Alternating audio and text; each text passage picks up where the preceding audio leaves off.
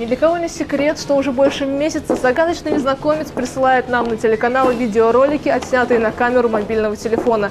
Вдохновленные примером нашего народного героя, мы решили запустить новый проект «Человек-новость».